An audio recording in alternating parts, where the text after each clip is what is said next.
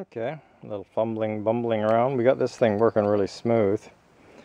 And uh, we removed all the burring and any interference fits and we rounded the edges, radius the corners so that if we have some pounding and stuff that it's not going to uh, splay the uh, metal and have an interference fit here.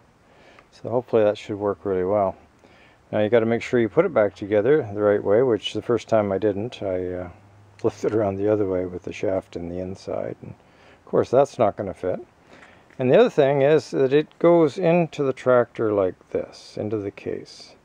So make sure that you put the head here up and the pin to the bottom.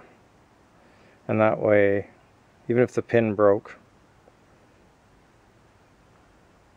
it'll it should stay inside there.